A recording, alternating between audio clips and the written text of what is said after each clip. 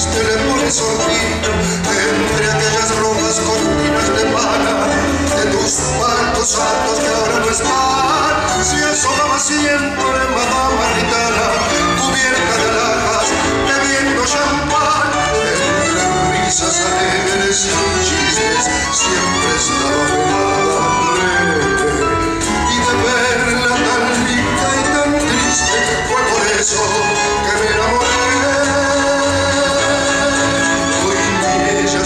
se enlazan y tampoco entro yo en cabales.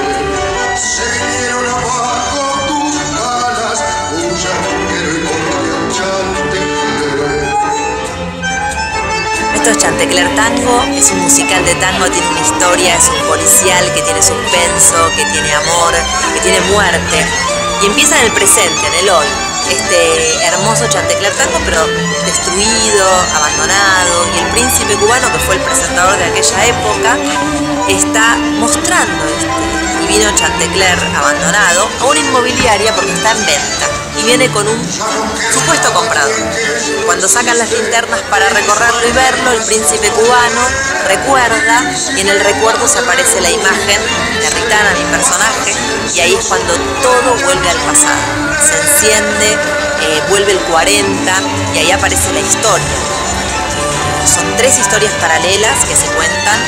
Eh, cuando vamos al pasado sabemos por qué el Chantecler finalmente había sido cerrado y cuando se vuelve al presente sabemos quién es este comprador y por qué lo compró. Eh, tiene que ver con nuestra historia, tiene que ver con lo que es el tango.